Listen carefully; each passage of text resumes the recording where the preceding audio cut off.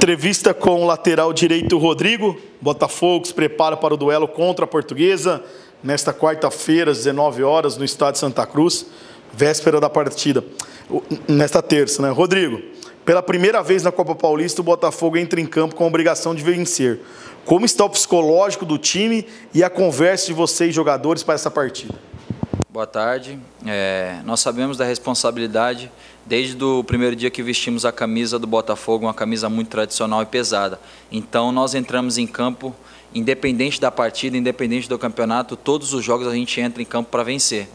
É, é, esse jogo tem uma pressão a mais porque é uma semifinal de, de Copa Paulista com equipe, contra uma equipe tradicional é, contra a Portuguesa. A gente sabe da, da expectativa que tem no clube de nós jogadores para que a gente possa passar para a final para conseguir uma vaga na, na Copa do Brasil. E a gente sabe da dificuldade que vai ser esse jogo amanhã à noite aqui no, no Santa Cruz.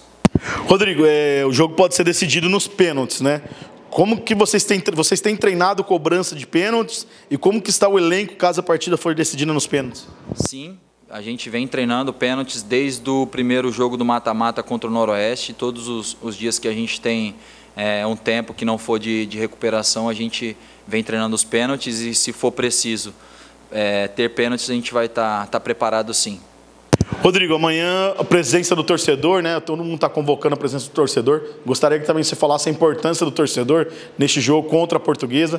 Você que teve a oportunidade de primeira vez de jogar com a torcida do Botafogo contra o Noroeste também. Gostaria que você falasse da importância do torcedor nesse jogo. A gente conta com apoio, conta com o máximo de pessoas que puderem vir no estádio para nos apoiar, para nos empurrar do primeiro ao último minuto, que a gente tem certeza que essa força que vem de fora faz muita diferença dentro de campo e a gente vai lutar do primeiro ao último minuto para poder conseguir o bom resultado, seja 1 a 0 para levar para os pênaltis ou seja uma vitória por 2 a 0 ou mais para a gente conseguir passar direto para a final.